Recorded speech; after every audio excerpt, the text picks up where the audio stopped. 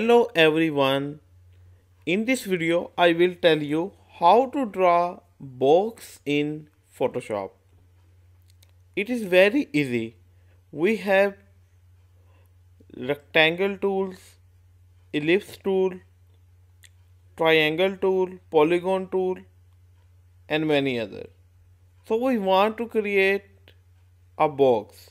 Take rectangle tool, press shift and you see that it is like a box and here you can make a circle and it is like a box. So middle it and so I create its another copy here and another copy here. Click on T. Place there.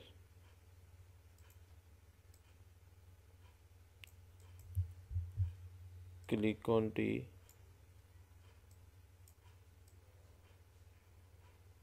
Place there. And add red photo color 2 add red photo color 3 add red photo. So I think select this one and paste it middle there now we change it the box color.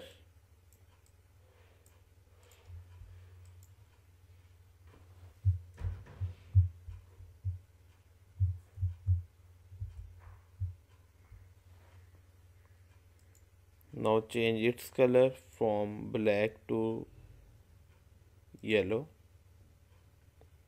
And this color from black to